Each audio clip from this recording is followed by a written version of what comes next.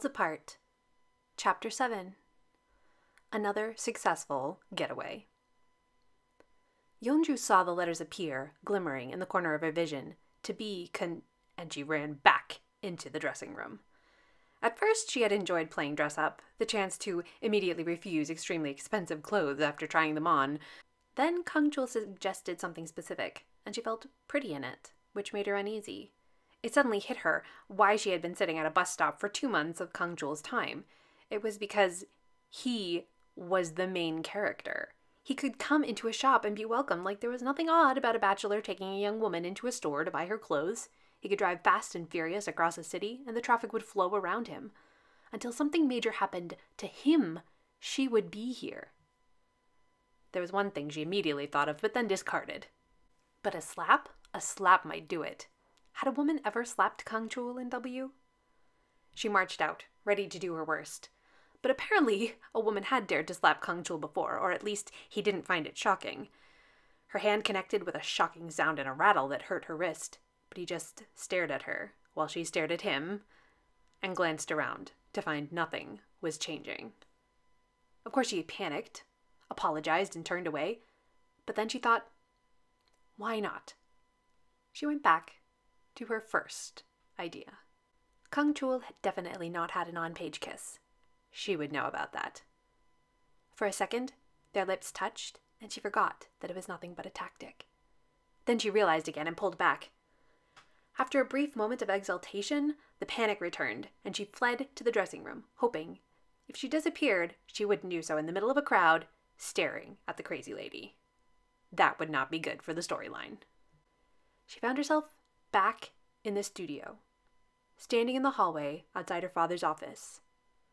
She slowly continued on, trying to remember exactly what she'd been planning to say to him. It was only when voices were raised in the dressing rooms that Chul began to feel some alarm.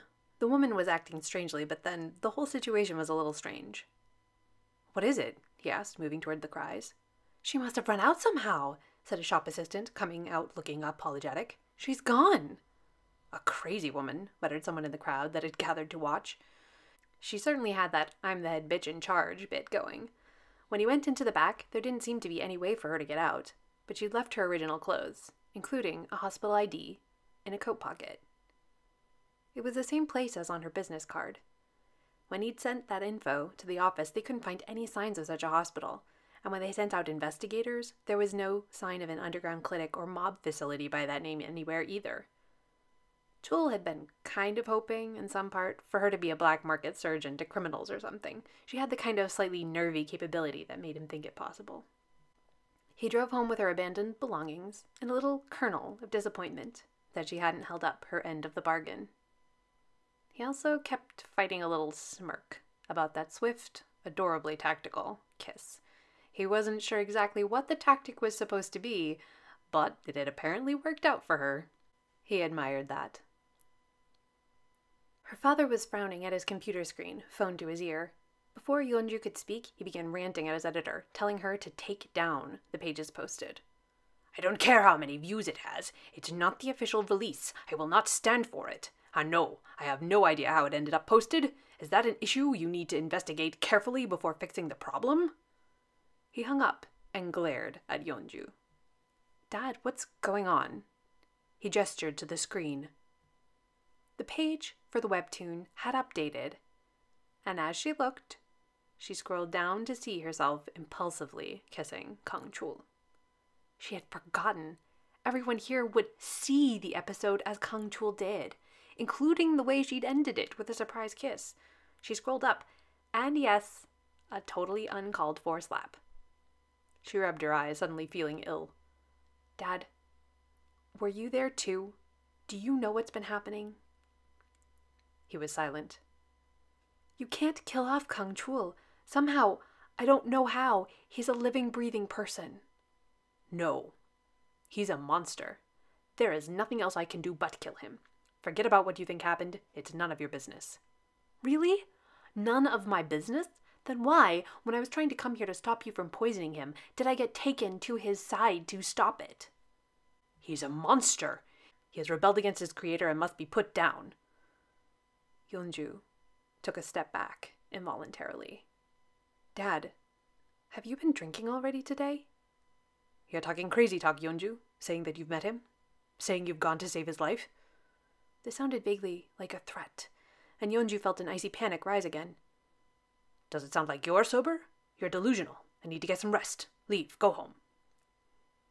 Dad, if Kang Chul is real, killing him would make you a murderer. No, I'm taking care of a problem. He was never supposed to be real. He must not be real. Subong, Yeonju needs to be driven home. She's not feeling well. Subong came crashing into the doorway. Yeonju, you were here? Where did you go? He looked at the screen and visibly went pale. Realizing she couldn't argue with her father in their current states, Yeonju allowed herself to be ushered out. Actually, Subong might be the only ally she had. What has been going on while I was away? she asked once they were in the car. Master O was freaking out. I don't know what about, but it seemed like the pages pages he hadn't drawn appeared online. Was that you? As soon as I went to talk to him, I entered Kang Chul's hospital room instead. Dad was drawing a nurse ready to poison him, so I stopped her. And then what? There was this time lapse. Something. Yeonju was starting to feel feverish. Two months passed in W's time, but it was only thirty minutes of mine. Uh, can I crack the window? Subong assented, though he clearly thought she was crazy. By the time they got back to her home, Yeonju was sweating. What if you've come down with an alien disease? Subong hissed as he helped her up into the house. Go away, she said. I'll talk to you tomorrow. She went to bed after drinking a quart of water. It said something pretty sad about her life right now that her mother came in that evening and checked on her but didn't say a word, assuming she was in a depressed sleep.